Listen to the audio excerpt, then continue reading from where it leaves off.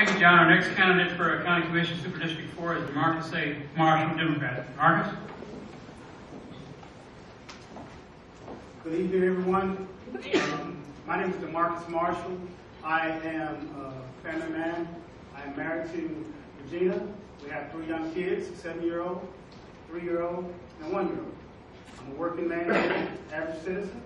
Uh, I've been thoroughly uh, immersed in this community quite some time. I was raised in the Lowndes County area, from the um, Copeland Road area.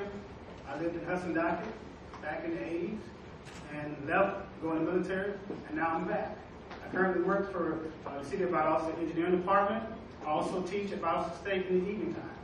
And like I said, my goal is to move the county forward. Everyone who's heard me talk in the past, I keep speaking of moving forward. This is 2012. Know, we got to acknowledge that. Everybody pays taxes. I want to start thinking about the outside areas, such as the Dasher, the Hay Hahira area, the North Bemiss area. I'm looking at community and economic development in a, in a major scale type of way. I'd like to see uh, more park and recreation facilities in the northern part of the county. Uh, I know we have uh, the park off of Guest Road out there, but it's primarily for uh, softball and the dog track. But I would like to perhaps see, um, you know, something like a Mackey Park in that area. Everybody doesn't have access to the base. You have a lot of youth out there that actually need something to do.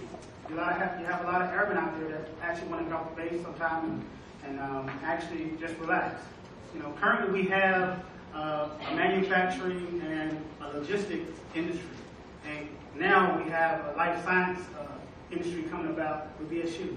I would like to see us uh, in, in, you know, engage in the technology industry. Why? Because that's the future. Let's be honest with you. You know, let's start inviting companies that build iPods, you know, that build, you know, computer chips and so forth. These are the jobs of the future. These are the jobs that our kids are going to VSU to try to obtain and make the salaries that, you know, will provide a great quality of life for them.